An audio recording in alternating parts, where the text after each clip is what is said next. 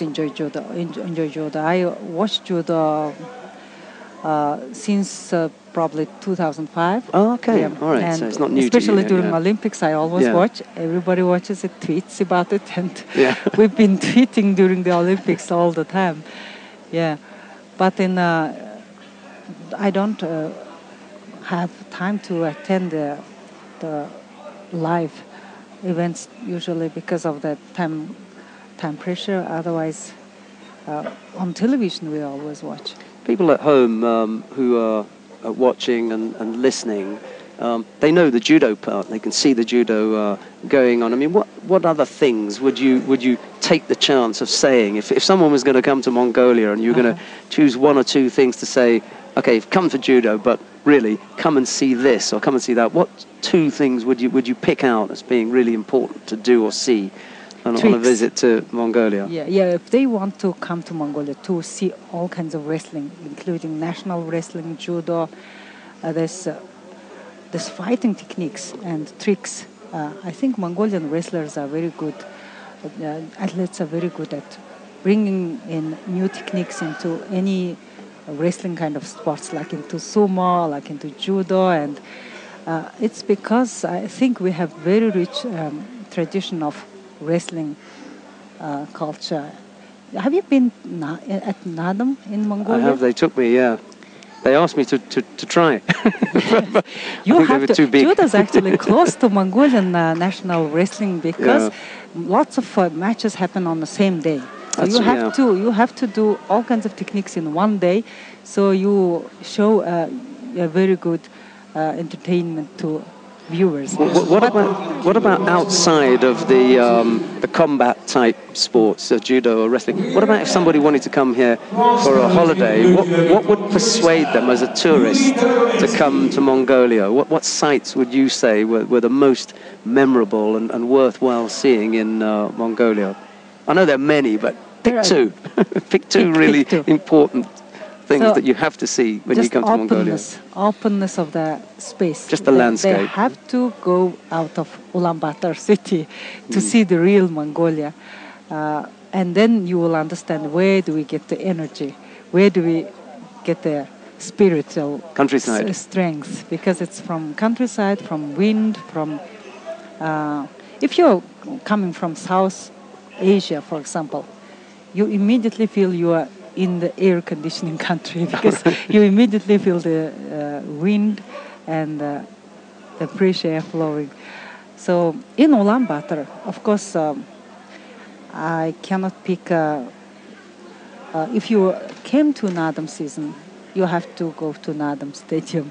But if you come to the other times, like winter time, there are museums that you can visit, religious or uh, Cultural activities. cultural, yeah. or yeah, lots of cultural activities during winter time. We heard there's a, a very special type of uh, singing uh, in, in Mongolia, and we were exposed to, to some of it uh, dur- during this visit. What's what's the special uh, singing that they that uh, Throat singing? The throat singing that they have. Homi. That's the, it's called homi. Yeah. Right, so that's a, a very popular um, kind of singing here in uh, in Mongolia, which some people will probably have heard of. They've all seen uh, National Yeah, Geographic yeah. program or something with, Yeah, with when, that I, type of singing. when we were child, when we were children, we didn't understand why it was so special.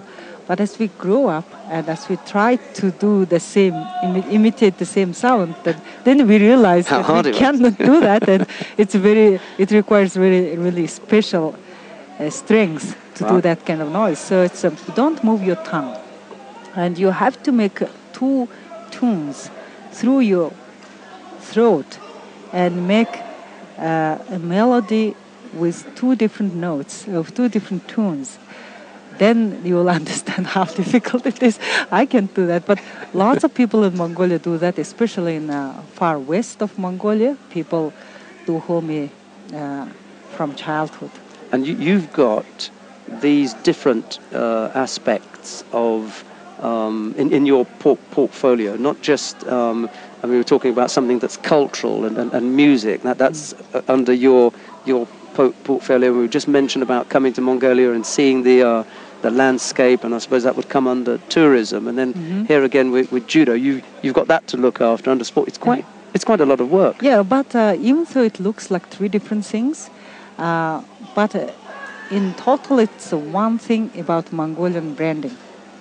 Uh, if you, it's uh, have to. Uh, oh, Almost some action. so my, my, my uh, one goal in all three se- sectors is have to improve the quality, uh, uh, quality uh, of Mongolian human development and sustainable way, and and it's it these these all sectors require lots of human de- capacity development and lots of uh, commitment to sustainability, continuation of all these traditions, etc. So uh, in, in total, that's, uh, that's the face of our country. D- Do you have um, a, a- a reasonably close link or a working uh, understanding with the Ministry of Education to try and, and, and, and have some of the things that you're involved in uh, with, with young people? I mean, you would want to see young Oh. people with sport that was um, What, uh, what just happened? Namsa, uh, Nam, Nams, I can't get it. Namsraijav has just uh, thrown UlziiBayar for uh, Ippon. And uh, we'll see a replay on the big screen. They've got a huge big screen at the end of the, uh, the competition arena here, and uh, we'll be able to have a look at that. And then there's a replay on, uh, on here on the screens at home. We'll just identify the, uh, the technique for you.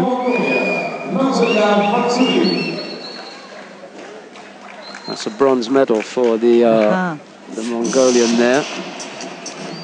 Here, here is the, uh, the winning technique. Ah, yeah. That wasn't the winning one.